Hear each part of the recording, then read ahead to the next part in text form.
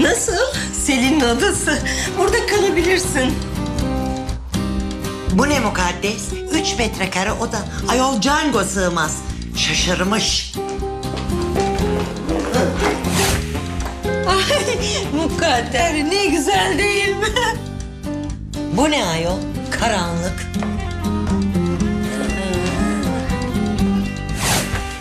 Ay çok güzeldir. Ayol burası kuzeye bakıyor. Django hiç sevmez. Mukaddes. Allah. Ay nasıl? Çocuk odası burası ayol. Django'ya mı hazırlattın? Manasız.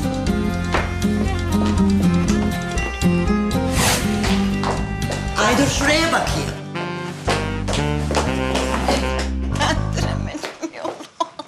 Bak burası iyi. İlahi mukadder burası benim yatak odam. Ayol bu oda ne kadar genişlemiş, ferahlamış. Yok ayol 10 yıl önce de böyle bu boyuttaydı. Ay ben gelmeyeli on yıl mı olmuş mukaddes? Güzel yıl. Mukaddes, Django'nun yatağını şuraya koyarız. Tamam, biz burada kalıyoruz. Aa, mukadder sen beni anlamadın herhalde. Ayol kıt mısın sen ne diyorum ben?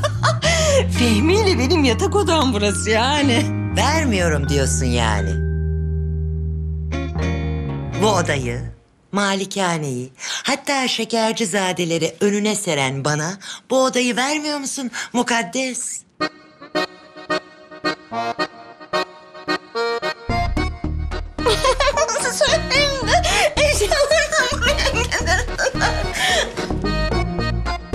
Ay Django buraya gel.